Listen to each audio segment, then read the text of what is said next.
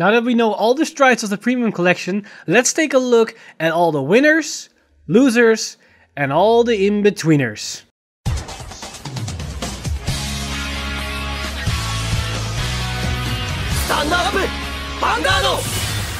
Hey Fighters, welcome to another discussion video and once again we're taking a look at the premium collection. Last time we looked at all the progenitor dragons and this time we're gonna take a look at all the strides. And instead of me going to rank them all from best to worst, as that is a impossible task, we're gonna just categorize them in winners, losers and in some extra brackets in between. As it's very hard to distinguish which precise card is actually better than another card as Within Premium, there are so many other uh, different cards. The card pool is so big, it's hard to determine the exact power level of a certain card as well in the meta, as you need to look at all the other clans as well. So for this, I made four different categories. The absolute winners, these are the cards that are gonna be defining the meta right out of the gate when the set is revealed. And Everybody is gonna probably agree on these cards that these are nuts. These things are probably on the edge of being broken. Next up, we've got the winners uh, category. These are basically cards that are very strong. They're gonna make an impact in the meta. Might not be as much as the absolute winners,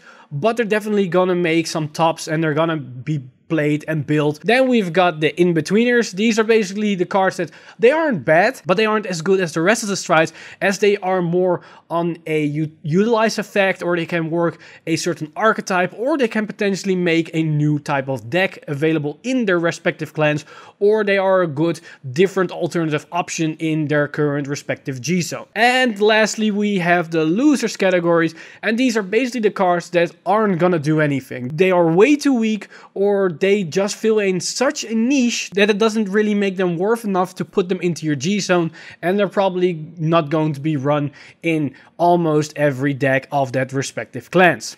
So with that said, let's jump right into this list and let's start off with the absolute winners. These are probably the ones you already guessed. There is, uh, these are on everybody's top list of these new strides and these are the one for Shadow Paladin, Nova Grappler and Mega Colony. These three cards are going to be nuts when this set hits the meta as each and, each and every card of these three are so good in their respective clans that they are going to change the current meta environment. For the Shadow Paladin, it basically enables you to go early rush and then with a full field you get benefit out of them as you can sec units, draw extra cards from them and with the Ritual 10 ability you get plus 15k, plus a crit, and a Battle Door effect on all your units, including your Vanguard, and Shadow Paladin can multi-attack with the rearguards that can potentially make them have 5 attacks with these extra effects on, on top of them will probably result that we're gonna see a lot of first stride turn kills with the new Luard. It's gonna be the new Turbo Luard and it is looking scary. And the same can be said for the new Bustard for Nova Grappler. They basically made a stronger winning champ. And with those extra Vanguard attacks, with all those insane amount of drives, we're probably going to see a lot of people dying at their first stride turn against an Nova Grappler player as they weren't scary enough with just multi-attacking of winning chat. No, we're gonna get a multi-attacking Vanguard as well on top of everything that has, what, 6, 7, 8, 9, 10 drive checks depending on how much you can fill your soul. It's gonna be scary. And then we have the one for Mega Colony that can shut down any kind of strategy. And don't forget, this will also work against G-Guardians as it limits any kind of superior calling. So you cannot G-guard for the first coming turns that they go into this thing, and they can just go into this thing four turns in a row.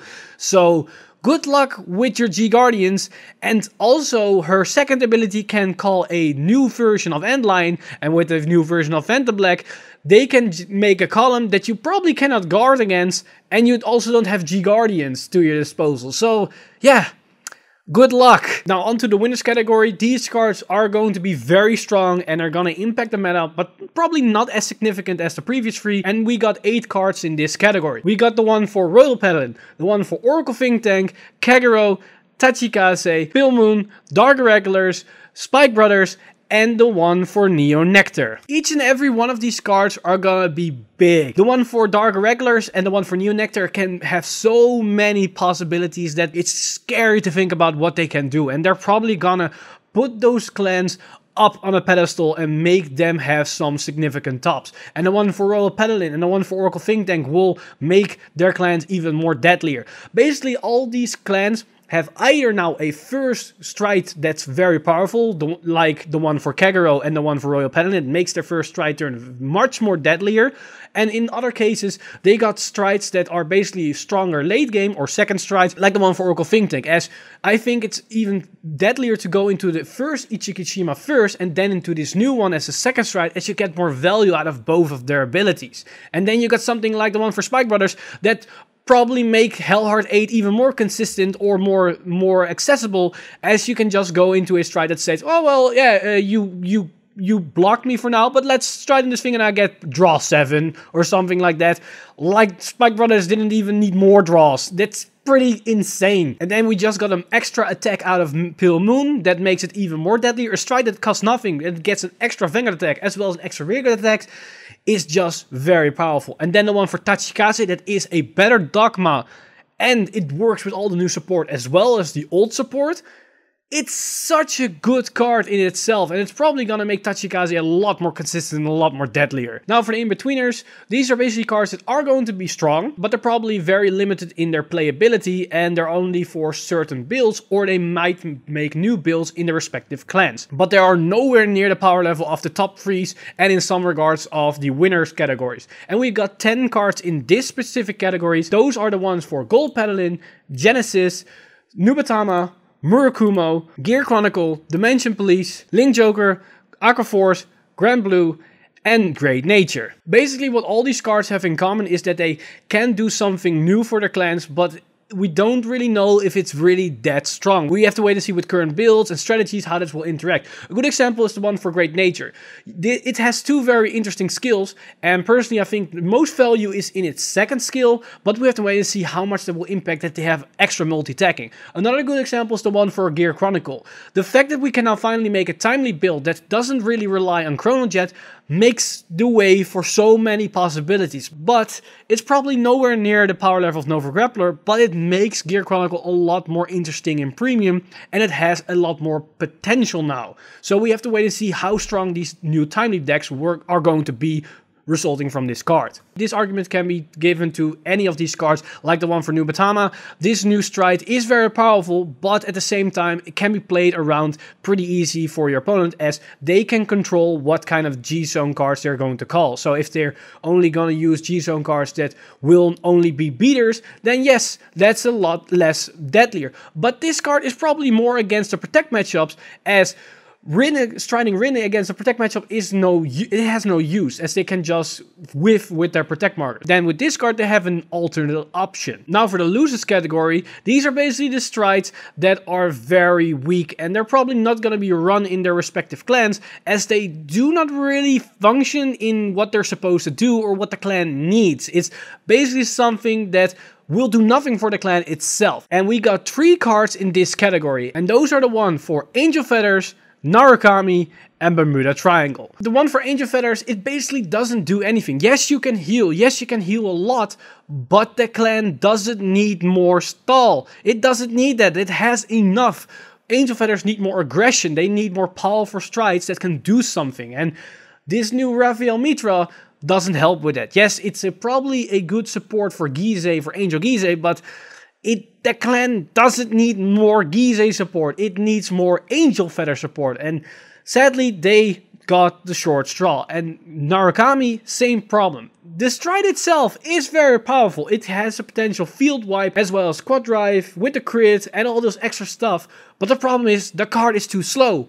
It's a late game stride. And Narukami has a bunch of these late game strides that are very powerful that they already can utilize. But the problem is they probably cannot go into those late game strides as their early game is way too weak. They miss draw power, they miss early game pressure, and the opponent can wait can counterplay or play around their mechanics way too easy. They needed something that was a good first stride that fixes or at least addresses these issues and this stride does neither of those. If this card was something like bind directly from hand and it's not really that big to be asking as we already got locking from hand, we've got dominating from hand, so why not binding something from hand? That's at least weaker than dominating from hand as it minus you on hand and then it attacks you into the face. And it also is with an extra crit in Rinne's case. So if this stride could bind from hand, Maybe it was useful as at least you couldn't play around it and Narukami had something to bind for something or that your opponent needed to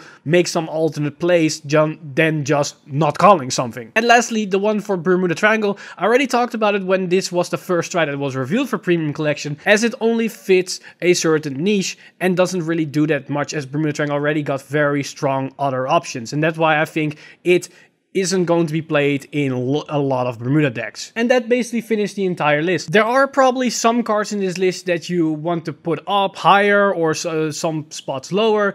A good example is the one, probably the one for Genesis. I know a lot of people are, are putting it a little bit higher on their own list as it can help with the Wiseman loop and it can put some extra power and a crit on Wiseman. But I'm putting it a little bit lower as I have a friend that plays Wiseman a lot and pr pretty consistent. And his personal philosophy is that he rather goes into an Himiko grade 3, then use her skill to give Wiseman plus 30k and plus 3 crits, and then multi-tech winning, then just outright only 1 plus 10k and then 1 crit. And I know this stride is very good for addressing the issues of Amarula herself, but I don't think that build is going to be very strong in the meta, and it probably is not going to do a lot. And I, I can be wrong on this part, but that's why I now want to pass the question to you.